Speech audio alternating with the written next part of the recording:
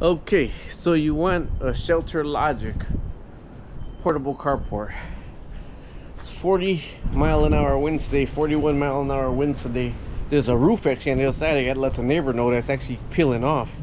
But with 40 mile an hour winds, I have it staked down with four or five cinder blocks on one side.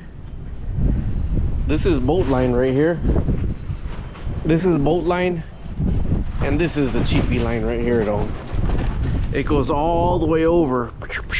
See all the way over all the way over and attaches to the other side. Because with this 40 mile an hour wind you would be you would be worried. Before i had this strapped down and tied down really good i used to worry about the wind and the shelter logic carport. But you see it's tied down and it goes all the way over from one side all the way over to the other side.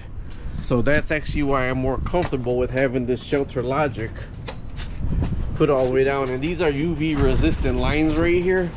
So with the 40 mile an hour winds you see my hair right? You see my hair?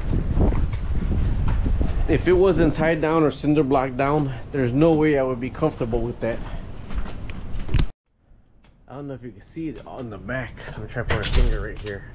The roof is coming off. That's how windy it is right now out here.